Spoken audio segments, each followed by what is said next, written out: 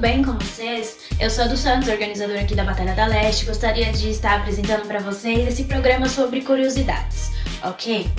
Então, como vai funcionar? Toda semana aqui no canal a gente vai estar soltando um videozinho sobre as curiosidades num certo dia. Eu gostaria de pedir para vocês que se vocês gostarem desse vídeo, por favor, é, dá uma comentadinha lá, é, deixa a opinião de vocês e fala sobre o que vocês querem que eu falo no próximo vídeo, beleza? E se você não é inscrito no canal, caso vocês não se inscreveu ainda, vai lá, se inscreve, deixa o likezinho ativa lá o sininho pra toda vez que sair um vídeo aqui, vocês poderem estar por dentro, ok? Beleza? Eu vou apresentar para vocês esse programa e gostaria muito também de pedir para todas as pessoas, é, todo o nosso público da Batalha da Leste, que levasse a sério esse momento de pandemia. Que assim que vocês saírem de casa, usar a máscara, o álcool gel. Bom, é esse recadinho que eu tenho para trazer.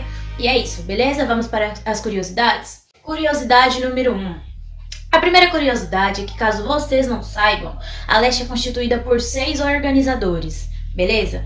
Vou contar para vocês quem são eles. O primeiro é o Augusto, que está na, na Leste desde o começo. Ele que foi um dos fundadores da Batalha da Leste.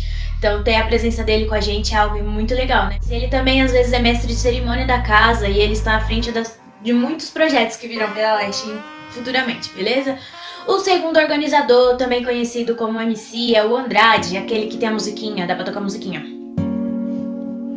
Enfim, o Andrade, ele é um dos organizadores e ele está na Batalha da Leste desde 2013 e se tornou organização apenas em 2016. Ele é atual mestre de cerimônia juntamente comigo, beleza?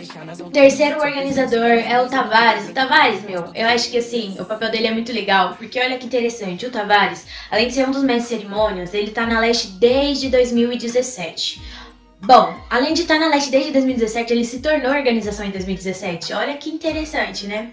Bom, o quarto organizador é o Ader, o Ader o DJ, ele, ele se tornou organização agora há pouco é, e também, além de ser o DJ, ele tá também envolvido em vários projetos futuros da Leste, beleza? Agora as duas últimas organizadoras da batalha é a Karenzinha. A Karen, acho que a maioria conhece porque ela apresenta várias batalhas e tudo mais.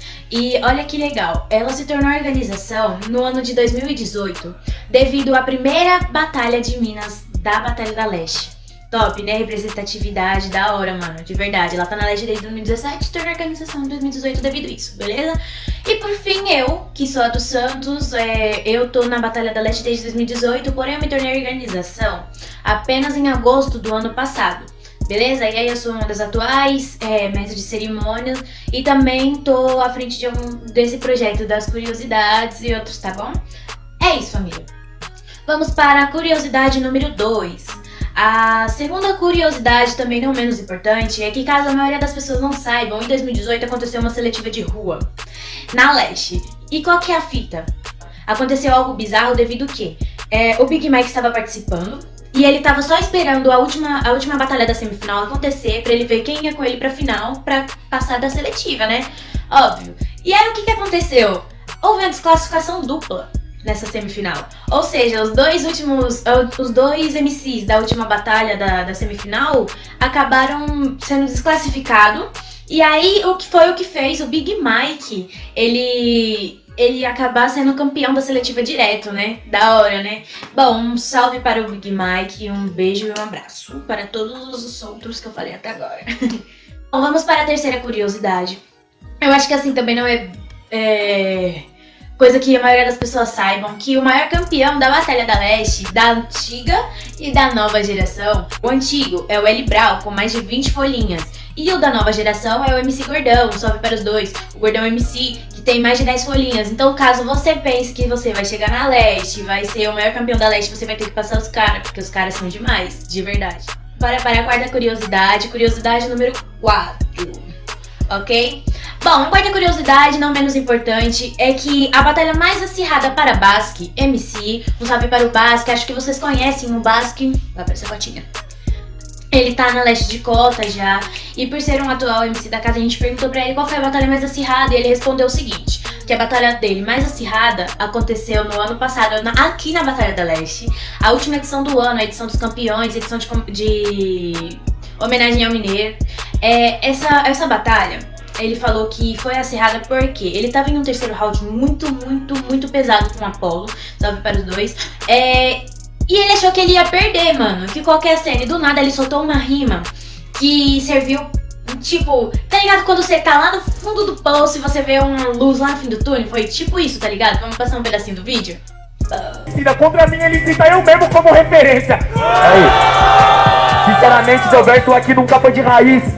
Porque você é muito ruim, cê sabe que meu verso agora no momento causa sua cicatriz. Acho que você é falso, como disse da peça do teatro, mano, você é só a atriz. Isso mostra o quanto seu nariz é empinado, se você é minha referência, cê tinha que tá feliz. Não, não, não, não, eu tô muito mal, eu tô muito mal. Eu queria ser referência pros quebrada, não um branco apropriador cultural? Hoje eu Pesado, né? Quem nunca passou por isso? Você é louco. Batalha top demais. Enfim, vamos para a quinta curiosidade. E a quinta curiosidade é que, caso a maioria das pessoas não saibam, a Batalha da Leste tem nove anos de corre. Isso mesmo que eu falei, nove anos. É, eu acho que, acredito eu que é mais velha do que alguns fãs da Leste, porque a gente sabe que a gente deve ter uns fãs com toquinho. Então, é isso, a Batalha da Leste tem 9 anos de corre. E devido a essa pandemia, esse ano a gente não pôde fazer o aniversário da Batalha da Leste, porém pretendemos fazer o ano que vem. Mas e o ano passado? Teve aniversário do Santos? Teve sim, o aniversário de 8 anos da Batalha da Leste. É, a gente vai passar umas fotinhas. É, nesse aniversário a gente teve presença de muitos MCs, foram, foi uma batalha de dupla. A gente teve como apresentadores o, o Andrade, o Augusto, a Karen e o Tavares. Como DJ a gente teve o DJ Val, o DJ Lutice e o DJ Ader. Bom, enfim, e caso vocês queiram muito saber, os campeões dessa edição de aniversário de 8 anos da Batalha da Leste foram a Jota e Salvador. Isso mesmo, salve para os dois. É, mas caso você realmente queira, ah, você vai passar um pedacinho dos vídeos? Não, não, não, não, não. Corre lá, vai no canal aí. É, entre e procura, tá lá os vídeos, todos os vídeos do aniversário, beleza? Bom, e é isso. Espero vocês ano que vem pro próximo aniversário, que vai ser demais, certo? Curiosidade número 6. A curiosidade número 6 constitui sobre o quê? É, a maioria das pessoas conhece o Yonggi MC, o MC aqui da casa, um salve para o Yonggi. Só que a maioria das pessoas não sabe é que a primeira folhinha da leste, da leste dele, é, foi meio aconteceu de uma forma bizarra, porque era uma batalha acirrada contra o Felipe e a gente não conseguia definir nem nos gritos e quando eu contava as mãos, dava o mesmo número. Ou seja, é, tava muito acirrado ali os dois MCs. E quando a gente vai perguntar, foi perguntar para os, o, a plateia, a plateia dizia que eram uns ataques e respostas tão bons que não dava para escolher um MC, certo? Então, foi a primeira e única vez que a Batalha da Leste teve que dividir uma folhinha no meio para dar para os MCs na final. Bizarro, né? Muito legal, velho. Imagina. Então, a primeira folhinha da Batalha da Leste do Yonggi MC foi dividida ao meio, não foi uma folha inteira. Legal, né? Vamos para a sétima curiosidade. Curiosidade número 7. Bom, a maioria dos fãs da Leste não sabe, mas a Batalha da Leste hoje em dia acontece em frente aos portões que liga a passarela até o metrô. E para quem já foi lá sabe que é assim, porém os fãs não sabem que a Leste já aconteceu ali na passarela, exatamente no meio da passarela. Também não sabe que a Leste já aconteceu dentro do metrô e também lá embaixo no terminal. Então eu peguei um pouco da época que ia acontecer no terminal e acontecia no metrô, mas nunca peguei na passarela ali. Ou seja, já aconteceu ali na passarela, a maioria das pessoas não sabe e é isso.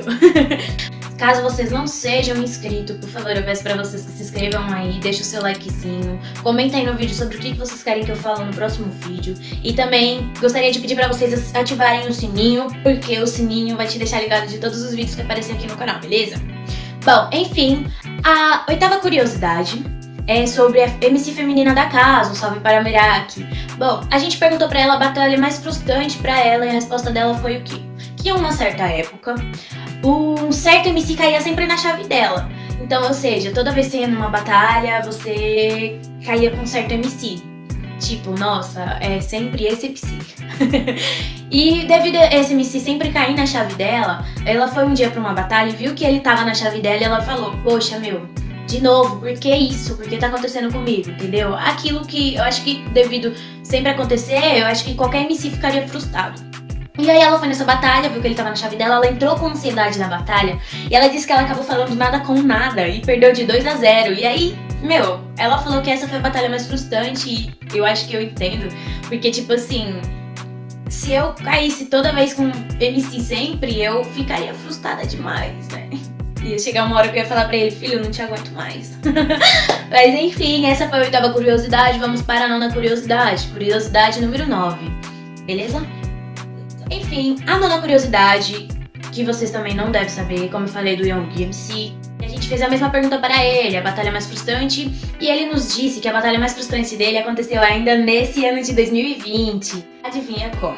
Então, ele falou que foi pra batalha, Batalha da Norte, e dessa batalha ele, ele acabou entrando num round com uma pessoa muito próxima dele. Só que aí as coisas começaram a esquentar. Vamos ver um pedacinho do vídeo? Uma coisa estranha, eu acho que esse camarada tava no YouTube vendo as batalhas da Norte semana passada.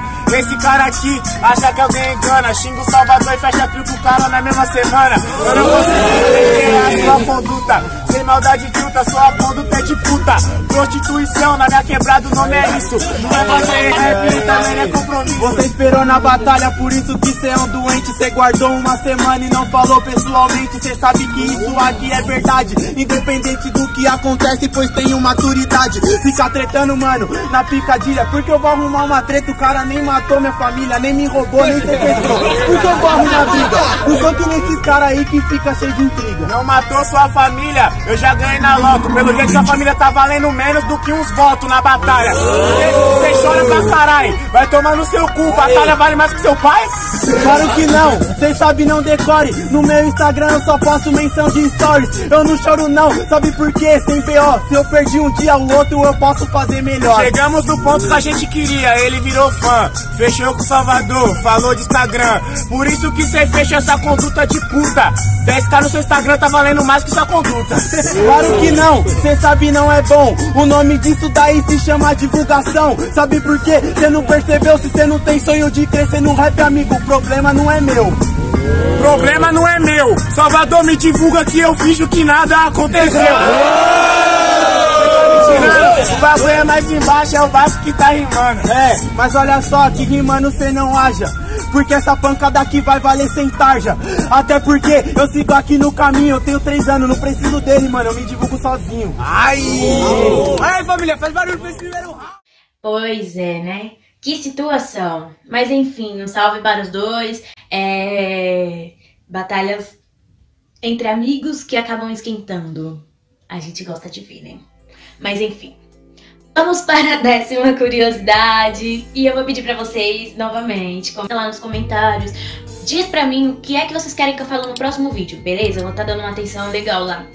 Bom, décima última curiosidade, curiosidade número 10 é sobre o Salvador MC, para os fãs da Batalha da Leste, do Salvador MC. Caso vocês não saibam, a primeira batalha do Salvador, da vida dele, foi na Batalha da Leste, em uma edição de dupla. Isso aí, então, a Batalha da Leste sempre vai estar acompanhando o Salvador, certo? Então, é, a batalha dele foi contra o Andrade e o AJ, porque o Andrade e o AJ tava de dupla. E aí, a maioria das pessoas não sabiam disso. Então, se você é fã do Salvador e fã da Leste, liga os dois e pá! É isso. Primeira batalha dele foi na Batalha da Leste. Beleza? Bom, é isso. Eu gostaria de estar agradecendo para a vocês por ter ficado até o final, por ter visto o vídeo inteiro e ter me ouvido. Eu sou a dos Santos. Segue lá, dos, underline, underline, Santos com dois T. Beleza? É isso. Estarei aqui na próxima semana. E um beijão. E um popopô, porque eu estou morrendo de saudade da Batalha da Leste. Espero que vocês também estejam.